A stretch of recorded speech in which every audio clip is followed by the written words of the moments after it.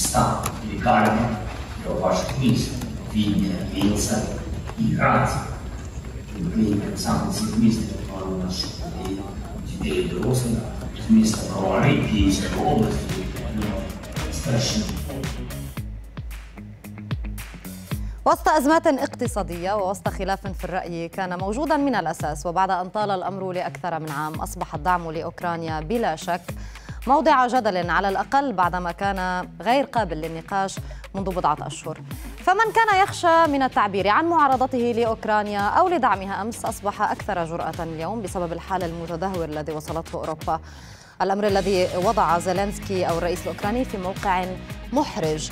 ونحن لا نتحدث مجازيا هنا بل حرفيا.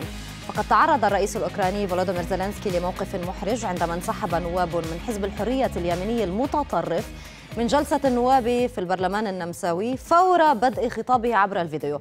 تاركين خلفهم لافتات صغيرة على مكاتبهم تحمل شعار الحزب وعبارة مساحة للسلام رأى أعضاء حزب الحرية أن خطاب زيلينسكي ينتهك موقف النمسا المحايد. فهي تدعم أوكرانيا إنسانيا وترفض دعمها عسكريا خاصة أن الحزب حذر قبل أيام من أنه سيجري شكلا من أشكال الاحتجاج على خطاب زيلينسكي. والمثير للاهتمام أن حزب الحرية يمتلك ثالث أكبر عدد من المقاعد في مجلس النواب النمساوي.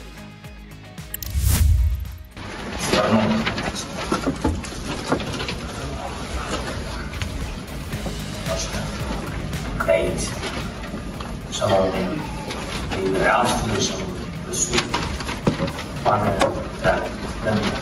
Pane Prezydenta Nacionalnej Banki, drogi narody, передусім я хочу подякувати трьом вашим містам, лікарням до ваших міст, Відня, Лінца і Град.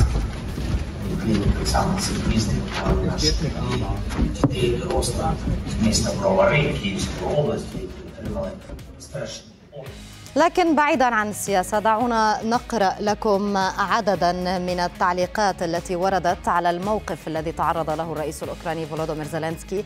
وسنبدأ من عبد القادر الذي اعتبر وقال ولا إحراج ولا شيء الإحراج الحقيقي لزيلينسكي أنه بعد سنة من تقارير الاستخبارات التحذيرية من أمريكا وبريطانيا وسنة ثانية من الدعم العسكري والسياسي والاقتصادي ما زال غير قادر على ردع روسيا.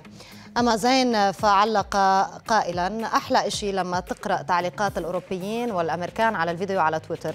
بتلاقيهم كلهم بيتهموا النواب بأنه النازيين وأعداء الحرية وكأن اعتراض على زيلينسكي مش حرية.